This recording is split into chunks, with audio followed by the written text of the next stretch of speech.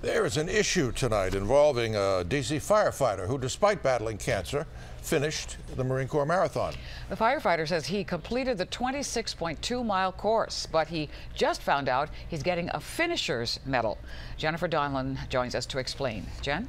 Maureen, actually, the problem right now is that he's not going to be getting a finisher's medal. It's important to note that Preston Williams says he does not want special treatment. This is not a guy who's looking for pity, and he's not angry. He just wants clarification as to why he didn't get a medal for accomplishing a goal he set when he was diagnosed with prostate cancer for the third time.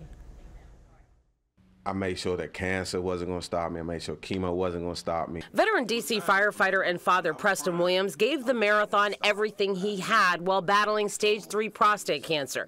It was his first 26.2 mile marathon. He made it to the finish line in 7 hours 20 minutes. Mission accomplished, right? Nope. At the finish, the Marines told him job well done, but we ran out of medals. That night, Williams got an email which stated the marathon will promptly mail your rotating Eagle, Globe, and Anchor medal with hopes the lifelong memories last far longer than the brief delay in receiving your medal. The medal never came. Today, we got answers for Williams. According to race policy, he allegedly did not make it to an area known as the Gauntlet at a certain time. Those that don't are diverted to a shorter course. A spokesperson explained they end up running only 23 miles. Williams, though, says he wasn't diverted. He says he ran the whole thing. But yesterday, this arrived in his inbox.